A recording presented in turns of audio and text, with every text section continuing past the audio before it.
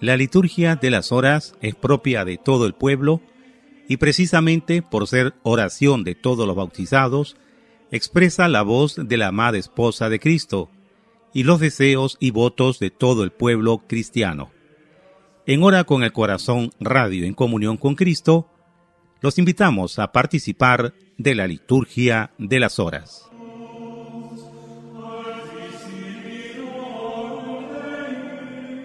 22 de noviembre del 2018, jueves de la trigésimo tercera semana del tiempo ordinario, del común de un mártir, Salterio I, memoria de Santa Cecilia, Virgen y Mártir.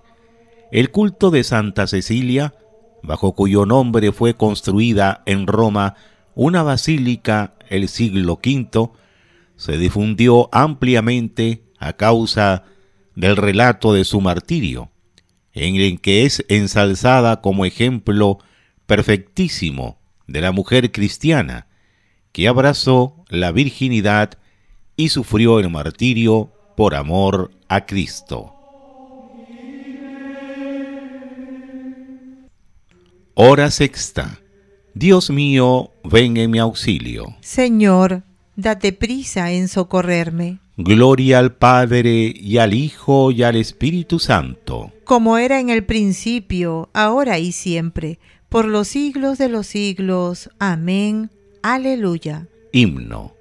Este mundo del hombre en que él se afana, tras la felicidad que tanto ansía, tú lo viste, Señor, de luz temprana y de radiante sol al mediodía. Así el poder de tu presencia encierra el secreto más hondo de esta vida. Un nuevo cielo y una nueva tierra colmarán nuestro anhelo sin medida. Poderoso Señor de nuestra historia, no tardes en venir gloriosamente. Tu luz resplandeciente y tu victoria inunden nuestra vida eternamente. Amén. Ábreme los ojos, Señor, y contemplaré las maravillas de tu voluntad.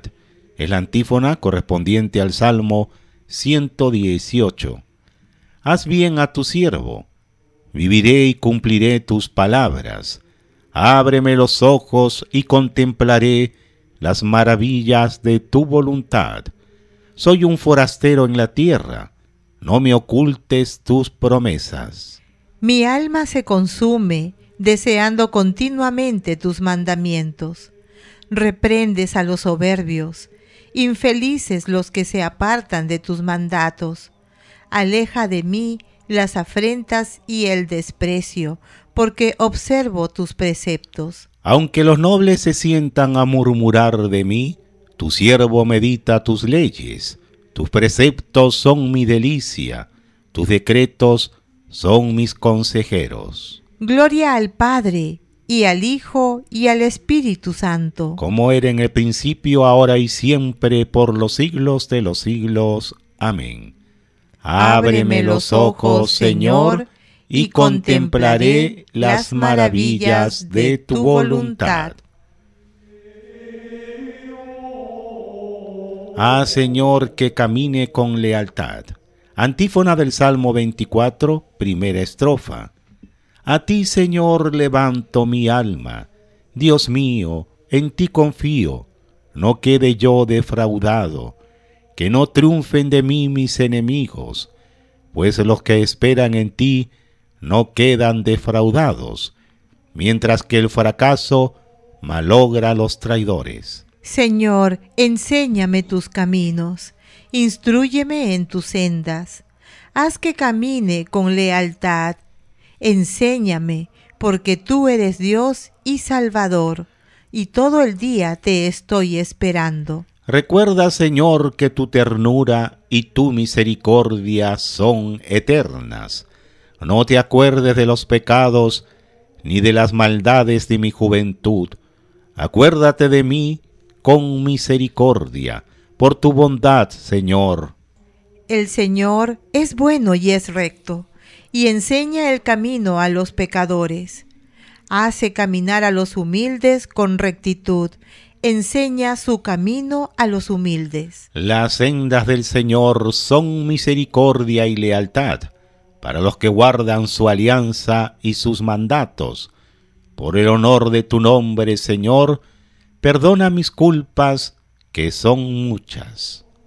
Gloria al Padre, y al Hijo, y al Espíritu Santo. Como era en el principio, ahora y siempre, por los siglos de los siglos. Amén. Ah, Señor, que camine con lealtad. Mírame, oh Dios, y sácame de mis tribulaciones, que estoy solo y afligido. Antífona del Salmo 24, segunda estrofa. ¿Hay alguien que tema al Señor? Él le enseñará el camino escogido. Su alma vivirá feliz. Su descendencia poseerá la tierra. El Señor se confía con sus fieles y les da a conocer su alianza. Tengo los ojos puestos en el Señor, porque Él saca mis pies de la red. Mírame, oh Dios, y ten piedad de mí, que estoy solo y afligido. Ensancha mi corazón oprimido y sácame de mis tribulaciones. Mira mis trabajos y mis penas, y perdona todos mis pecados. Mira cuántos son mis enemigos, que me detestan con odio cruel. Guarda mi vida y líbrame. No quede yo defraudado de haber acudido a ti. La inocencia y la rectitud me protegerán, porque espero en ti. Salva, oh Dios, a Israel de todos sus peligros. Gloria al Padre y al Hijo y al Espíritu Santo. Como era en el principio, ahora y siempre, por los siglos de los siglos. Amén. Mírame, oh Dios, y sácame de mis tribulaciones, que estoy solo y afligido. Lectura breve del libro del profeta Amós, capítulo quinto. El Señor creó las Pléyades y Orión, convierte la sombra en aurora, oscurece el día en noche, convoca las aguas del mar y las derrama sobre la superficie de la tierra. Su nombre es el Señor. Honor y majestad lo preceden. Fuerza y esplendor están en su templo. Oremos. Dios Todopoderoso y Eterno, ante ti no existen ni la oscuridad ni las tinieblas. Haz pues brillar sobre nosotros la claridad de tu luz, para que guardando tus preceptos, caminemos siempre por tus sendas con el corazón jubiloso. Por Cristo nuestro Señor. Amén. Bendigamos al Señor. Demos gracias a Dios. El Señor esté con ustedes. Y con tu espíritu. Y la bendición de Dios Todopoderoso, Padre, Hijo y Espíritu Santo, descienda sobre ustedes. Amén.